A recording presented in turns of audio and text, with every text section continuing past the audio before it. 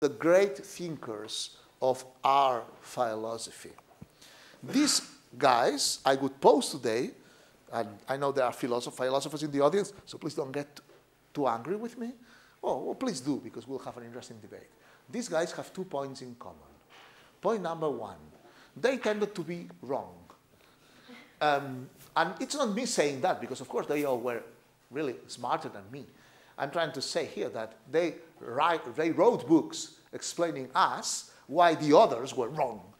Because you see, they could read each, other, and you've got Kant explaining why these two guys were wrong, and you've got Hobbes saying, hey, you know, our real nature is that we are a bunch of bastards, and then there's Kant saying, no, that's not right. We have a moral law inside us. And then there's John Stuart Mill posing something that is similar to something that has been called the Homo economicus.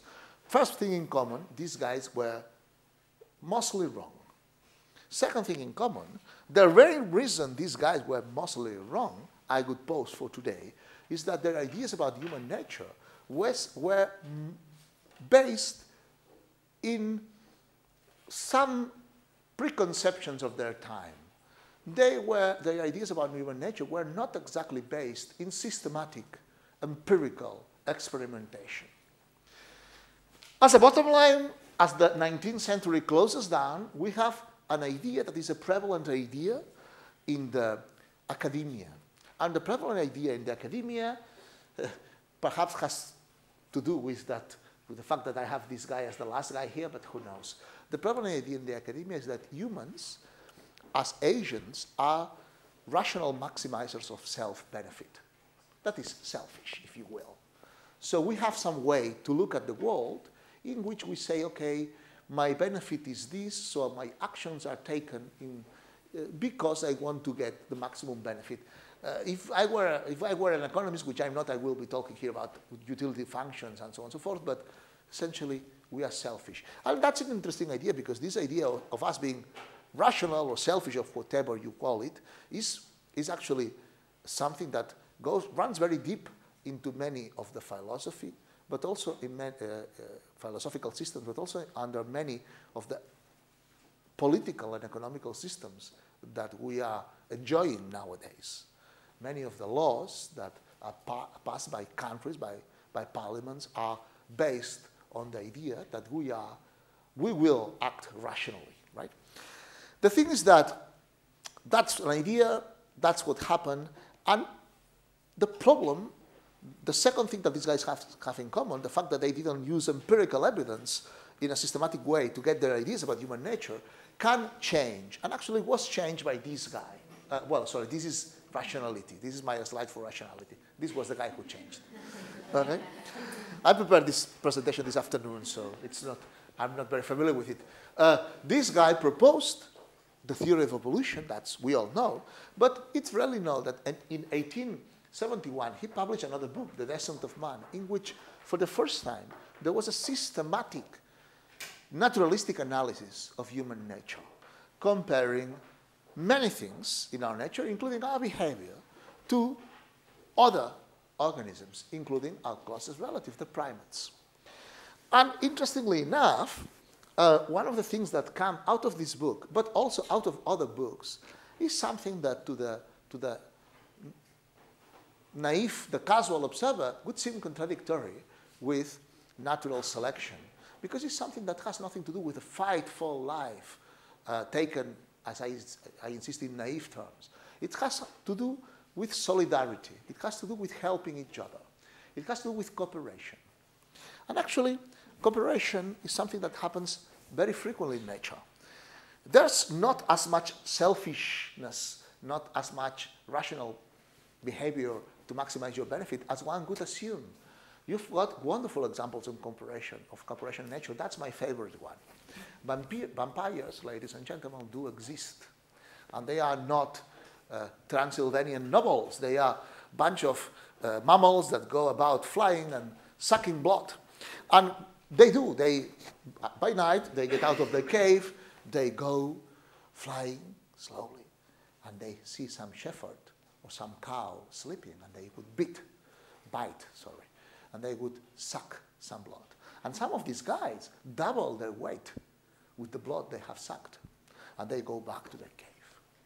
And in the cave, what happens is that, you see, some of them got lucky and doubled their, their weight. They got lots of blood, but others didn't. And then in that cave, one of the most beautiful examples of cooperation happens. Nature is ripe with these beautiful examples. These guys uh, vomit blood into each other, right? This is not very beautiful, but when you think about it, when you think about it, they are sharing, they are sharing food. And actually, it's even more interesting than that because when they share food, they don't share food randomly. The guys who, when lucky, would share with the others tend to get more the nights they don't get lucky.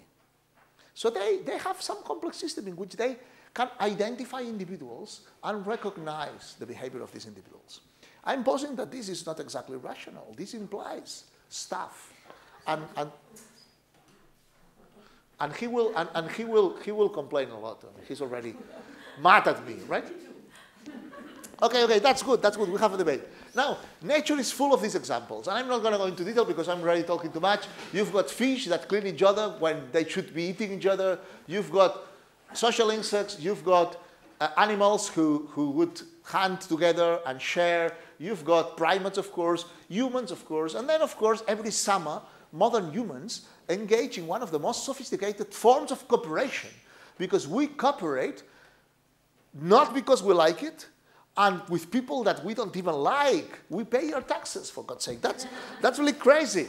So the point is that all this, which perhaps it's not necessarily rational and perhaps it's not in our own benefit, can be studied, as Mara was saying, in a systematic way, can be studied in a lab in which you have computers in which you play games. Pretty much like the game I just explained. And you can measure all, all sorts of interesting things into people when they are playing these games. One of my favorites is the ultimatum game. How does this work? Hey, there's two people, and the experimenter says, you've got money, you split it. That, this does ring a bell, right? Let me say something. If we all were uh, rational self-vanity max, where do I have my games, the results of my games? Oh, here, thank you. If we all were, if we all were rational self-benefit maximizers, then we should, in principle, play in the following way. I've got 10 euros to split with Genoveva or with somebody anonymous. Hey, I give one to you and nine for me. Why not?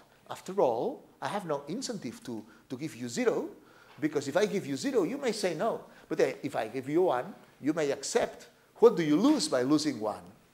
Now, in general terms, uh, uh, and so far I have lied a lot, and there he's scribbling like crazy. But, but um, in general terms, that would be the predicted behavior, right? But it just so happens that humans don't tend to play like this. We know that humans usually make other offers. Let's, let's make some example here, right? This person didn't offer 9 and 1. This person offered 5 and 5. This person, somebody else, let's mix this just to avoid. Uh, this person, some person called Baruta, oh, offered 8 and 2 or 5 and 2. I hope it's 8 and 2 because 5 and 2 doesn't add up to 10. Right? This other person, anonymous, another 5 5. This other person, anonymous, another 5 5. This other person, anonymous, 7 3. Hey, what's going on? Why don't we make this, in principle, rational offer that some people said we should be making? There's stories to that. These experiments were run big time in the 80s. It just so happens we just don't, right? And what about rejection? Do we accept anything? Nine and one. Hey, let's have a look. This person here, no name, again, nobody put the name, so I cannot give money. This person accept, uh, rejected one or, sorry, zero or one, but accepted anything larger than two. If this person is given two or more, this person accepts. This other person here rejected anything that was not four or more. This other person here, ah, star, someone, we know who this, you, we know who you are. This person rejected zero, but accepted everything else. This person is rational. But this case, this person is kind of rational in terms of fluctuation, but in terms of distribution, it's 5 5. so, you know, this person doesn't treat others as he or she would like to be treated. He, this person treats others in, in a more generous way, and so on and so forth. What I'm trying to say here is that all these experiments, and we can discuss a lot about this, show that we are not necessarily rational self-benefit maximizers. We are not busters. We are just the rest of the, like the rest of nature, an organism that tends to cooperate a lot. Interestingly enough, these guys, apparently, according to a paper a few years ago and some further experiments, do behave like rational self-benefit maximizers.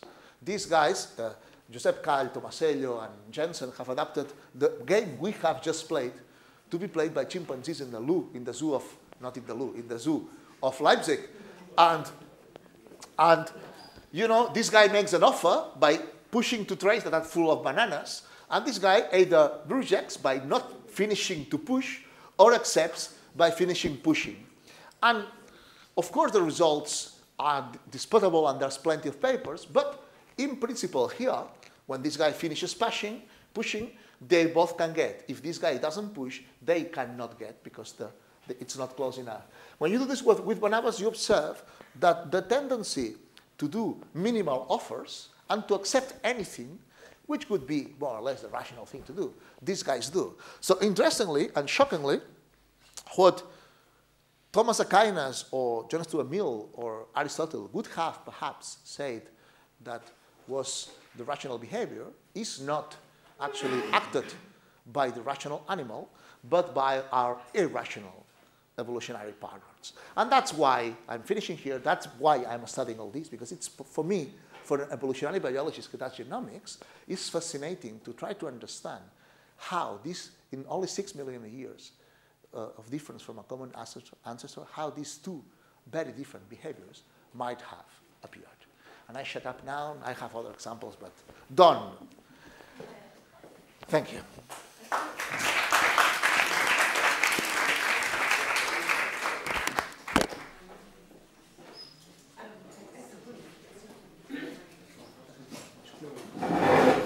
So, and now we, our next speaker is Antonio Cabrales. Antonio is professor of economics at the University College of London since uh, last year, since 2013.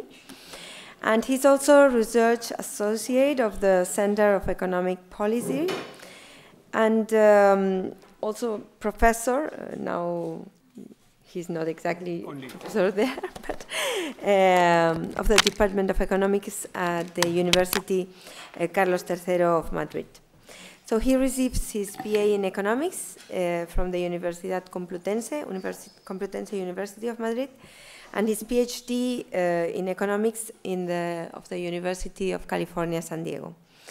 His field of research includes game theory, experimental economics, network economics, and mechanisms design. He has a lot of published papers, and his talk today has a very interesting title. So, il, Neuroeconomics, il bueno, il brutto, il cattivo, suggesting that neuroeconomics has the potential to embed neuroeconomics eh, in the chemical processes taking place in the brain. And in fact, when, when I was writing him today, he was telling me, oh, but I'm not a neuroscientist. Um, even so, he will speak a lot about neuroscience, you will see. Thank you for coming, okay. Antonio. The Thank you. Um, it's a privilege to be here. Um, we used to run a, a, seminar here many years ago called Barcelona Jocs when, when Andreu Mas-Colell was, uh, was uh, still a scientist rather than a politician. It was, uh, it's a lot of fun to be back here. Um, so I'm talking about first some of the, some of the evidence uh, before doing theory. So it's a mistake to do, in this I agree with, uh, with uh, Arcadi that it's a mistake to do theory before you have some evidence. So let me give you first the evidence, and then I, I have a short discussion on, on potential theories or something. So the first uh, is uh, we're going to talk about four uh, molecules that I think have been studied quite a bit in, uh, in uh, both by economists or psychologists and, and other people of, uh, of bad lives over the few, last few years. And, and the first interesting one is glucose. So the, this, this is a famous experiment. you, you might have heard of it in, in the press because it was very striking. So the first experiment, not experiment, but collection of data from the real world by Danziger, Levav, and Avna Impessot, what they did is they checked the decisions of uh, judges that were deciding uh, whether to, to give uh, prisoners, to, to release them on, on uh, to release them on probation or not. So after you've done half your sentence, you can be released on bail or not. And, and, and, and then if you behave well during the rest of the time, then you're out, and otherwise you, you get back in. So what they what they they did is they they took uh, the, the the the judges and they looked at the decisions they did just after they arrived, so presumably just after they had breakfast, just before they went for the first break, which was sometime you know mid morning, uh, after the first break, just before lunch and just after lunch, and and they have a long discussion in the paper showing that, that in fact it's very difficult for, I mean, the, the ordering in which the, the courts, I mean, the cases come to them is, is not quite random, but, you know, for most practical purposes, it's random. So it's, a, it's almost a, a,